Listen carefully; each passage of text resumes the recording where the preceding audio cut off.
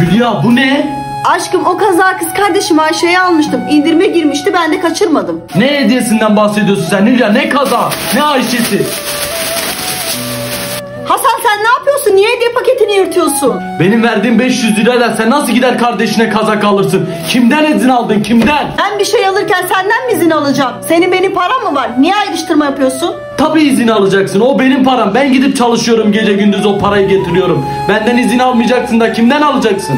Hasan niye bu kadar abartıyorsun? Aldım işte gitti. İki gün sonra kardeşimin doğum günü. Aşkım bilmiyordum ben. Özür dilerim. Güzelim hediye paketini de içine ettim be Hasan.